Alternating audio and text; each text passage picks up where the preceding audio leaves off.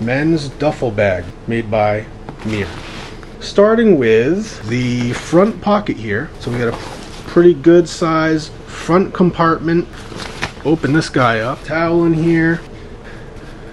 So really you have plenty of space for at least a towel and another change of clothes, maybe even more.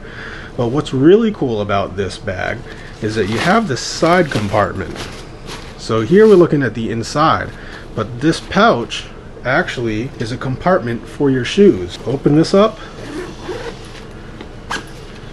and what do you know? I have entrance to the side panel for my shoes. And also you'll notice I have two metal, looks like vents, which is great considering this is a gym bag.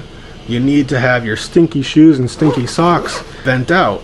Also, you have this extra in, um, interior pocket. This I think would be good if you had, you know, maybe your phone. You want to toss your phone in there.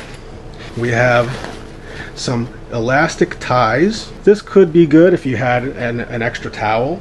This acts as a nice little separator so you can put one bottle of water here and one bottle of water here. So there we go. There's one bottle. There's two bottles. Then we can open this a little bit further. And who doesn't want a little extra space for uh, extra stuff, right? Again, we can't forget the deodorant. Let's throw a little stick of deodorant in there. And we are good to go. Close this up is removable. You can just take this